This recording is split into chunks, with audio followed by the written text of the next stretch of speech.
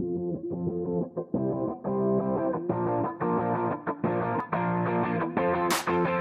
La Universidad Nacional de La Plata, enmarcado en la importancia y la relevancia del ingreso y la permanencia de los distintos estudiantes, lleva adelante el programa de igualdad de oportunidades para estudiar, destinado fundamentalmente eh, a aquellos estudiantes que ingresan o que eh, son regulares en las 17 unidades académicas y bueno, la Escuela Superior Universitaria de los Recursos Humanos del equipo de salud. ¿sí?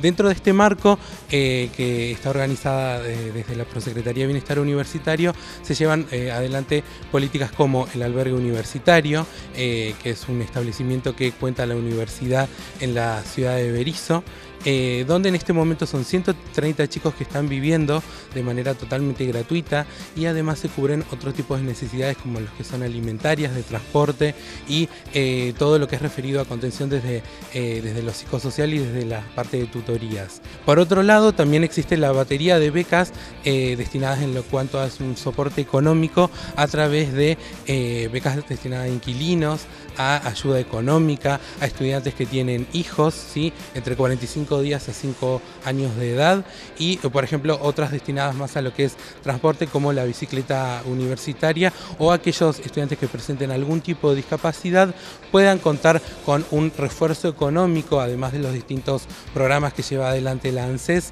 eh, destinados a sostener económicamente eh, su formación de grados.